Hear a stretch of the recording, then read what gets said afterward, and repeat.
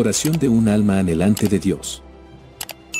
Dios, Dios mío eres tú, de madrugada te buscaré, mi alma tiene sed de ti, mi carne te anhela, en tierra seca y árida donde agua no hay, para ver tu poder y tu gloria, así como te he mirado en el santuario.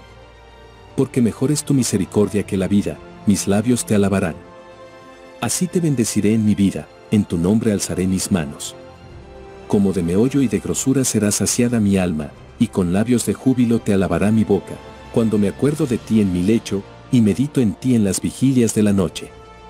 Porque has sido mi socorro, y así en la sombra de tus alas me regocijaré. Está mi alma apegada a ti, tu diestra me ha sostenido. Mas los que para destrucción buscan mi alma, caerán en los sitios más bajos de la tierra. Caerán a filo de espada, serán la porción de las zorras. Pero el rey se alegrará en Dios, será alabado cualquiera que por él jura, porque la boca de los que hablan mentira, será cerrada. Petición de cuidado divino. Escucha, oh Dios, mi voz en mi oración, guarda mi vida del miedo del enemigo. Escóndeme del consejo secreto de los malignos, de la conspiración de los obradores de iniquidad, que afilan su lengua como espada, y estiran su arco para lanzar saetas, aun palabras amargas, para asaetear a escondidas al íntegro, de repente tiran contra él, y no temen. Obstinados en su inicuo designio, tratan de esconder los lazos, y dicen, ¿quién los ha de ver? Inquieren iniquidades, hacen una investigación exacta, y el íntimo pensamiento de cada uno de ellos, así como el corazón, es profundo. Mas Dios los herirá con saeta, de repente serán heridos. Y harán caer sobre sí sus mismas lenguas, se espantarán todos los que los vieren. Y temerán todos los hombres, y anunciarán la obra de Dios, y entenderán su hecho. Se alegrará el justo en Jehová, y confiará en él, y se gloriarán todos los rectos de corazón.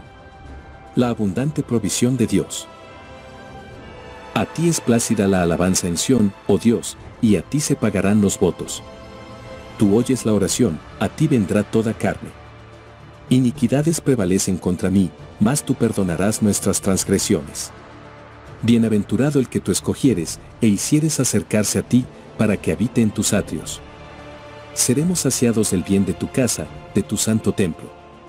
Con tremendas cosas, en justicia, nos responderás tú, oh Dios de nuestra salvación, esperanza de todos los términos de la tierra, y de los más remotos confines del mar. Tú, el que afirma los montes con su poder, ceñido de valentía, el que calma el estruendo de los mares, el estruendo de sus ondas, y el alboroto de las naciones. Por tanto, los moradores de los fines de la tierra temen de tus maravillas. Tú haces que se alegren las salidas de la mañana y de la tarde. Visitas la tierra, y la riegas, en gran manera la enriqueces con el río de Dios.